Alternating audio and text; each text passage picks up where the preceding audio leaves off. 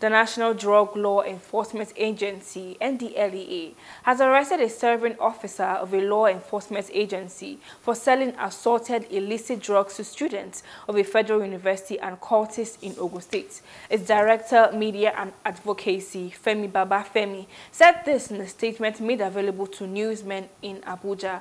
Babafemi said the drug dealer who served in the Lagos State Command of the security agency was arrested on Wednesday, June 15th.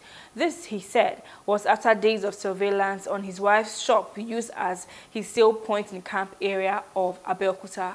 According to Babafemi, one of his salesmen, a motorcycle rider, was trailed to the location at about 8 p.m. and arrested with six pinches of Colorado weighing 1.17 grams. Six others were also arrested at different areas across Kwara, Ondo, and Oyo states.